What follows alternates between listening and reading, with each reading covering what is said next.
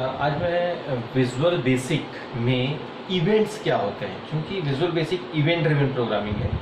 इसका मतलब ये होता है कि इवेंट ड्रिवन प्रोग्रामिंग ऐसी प्रोग्रामिंग जिसका कोडिंग का एग्जीक्यूशन इवेंट पर डिपेंड होता है। जब तक वो इवेंट नहीं होगा, तब तक कोडिंग एग्जीक्यूट नहीं होगा। फिर से रिपीट कर रहा हूँ। Visual basic event driven programming है और इवेंट ड्रिवेन प्रोग्रामिंग का मतलब ये होता है कि जो कोडिंग का एग्जीक्यूशन डिपेंड होता है इवेंट पे। और इवेंट का मतलब होता है यूज़र का एक्शन जब तक यूज़र का एक्शन नहीं होगा कोडिंग का एग्जीक्यूशन नहीं होगा। इसीलिए इस प्रोग्रामिंग को इवेंट ड्रिवेन प्रोग्रामिंग कहते हैं। इवेंट फायर होगा तो कोडिंग एग्जीक्यूट होगा। यहाँ पर कुछ इवेंट्स के नाम बताने जा रहा हूँ, जो हम लोग को वैसे ढेर सारे हैं। मैं उसमें से बेसिक जो इवेंट्स हैं, उसकी जानकारी मैं आपको दे रहा हूँ।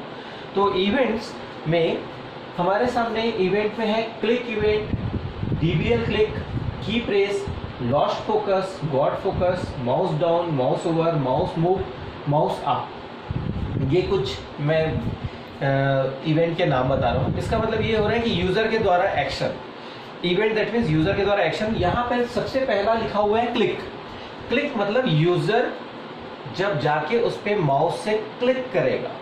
जब क्लिक करेगा तो वो उसमें लिखा हुआ कोडिंग एग्जीक्यूट होगा। तो उस टाइम को यूज़र के एक्शन को, यदि उसने क्लिक किया है तो वो कहलाएगा क्लिक इवेंट उसी प्रकार से जस्ट बगल में मैंने लिखा हुआ है डीबीएल क्लिक यानी कि माउस से डबल क्लिक करेंगे तो उस पर लिखा हुआ कोडिंग एग्जीक्यूट यदि आप सिंगल क्लिक करेंगे तो उसका कोडिंग एग्जीक्यूट नहीं होगा। तो ये इवेंट है और ये इवेंट यूज़र के एक्शन को इवेंट हम कहते हैं। पर्टिकुलर टाइम पर यूज़र के एक्शन को हम इवेंट कह रहे हैं। तो हमारे सामने क्लिक और डबल क्लिक है। इसी प्रकार से की प्रेस की प्रेस का मतलब ये होता है कि जब कीबोर्ड से मैं कोई भी की को प्रेस करता हूँ, उस टाइम पे, कोई भी की को की को मैं प्रेस करता हूँ तो उस टाइम पे जो उसमें लिखी हुई कोडिंग है वो एग्जीक्यूट होगी। नेक्स्ट है लॉस्ट फोकस लॉस्ट फोकस और गॉड फोकस फोकस हम लोग एक यूज़ करते हैं टैब बटन होता है कीबोर्ड में। टैब से हम लोग क्या करते हैं? यदि मेरे पास एग्जांपल के लिए मैं आ, हमारे पास एक फॉर्म दे तो मैं फॉर्म वन है।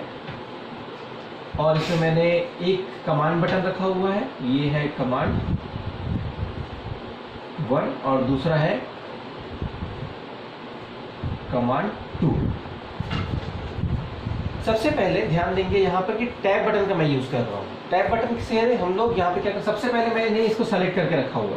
कमांड वन कमांड वन को मैंने सेलेक्ट करके रखा हुआ है। टैब बटन को मैं प्रेस करता हूँ।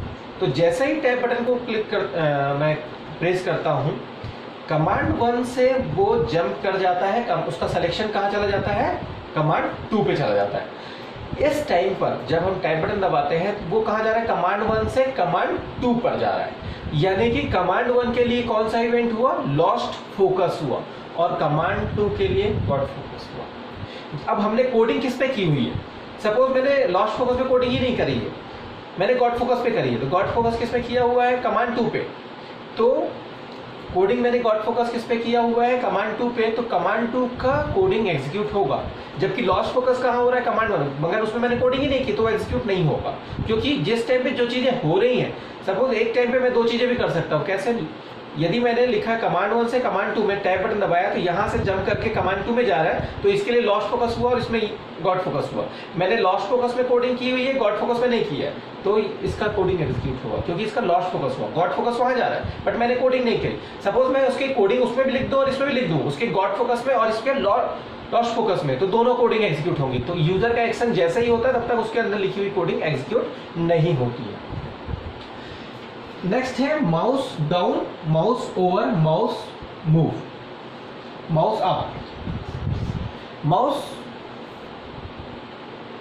down mouse down का मतलब होता है मैं जब किसी भी सपोज़ मैंने यहाँ पे माउस को रखा कमांड वन पे, मैं माउस डाउन कर रहा हूँ। ध्यान देंगे माउस डाउन अभी मैंने इसे रिलीज़ नहीं किया है।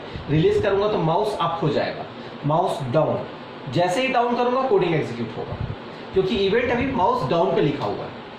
इसी प्रकार से माउस ओवर यदि मैं माउस को जस्ट उसके ऊपर ले जाता हूँ माउस ओवर किसी भी ऑब्जेक्ट पे तो उससे रिलेटेड कोडिंग एग्जीक्यूट होगी। इसी और लिखा हुआ है माउस मूव माउस मूव का मतलब माउस को मैं यदि कमांड वन के ऊपर रखता हूँ तो ये तो हुआ ओवर बट मैं उसके अंदर मूव करता हूँ ऐसा, अंदर में, ध्यान देंगे।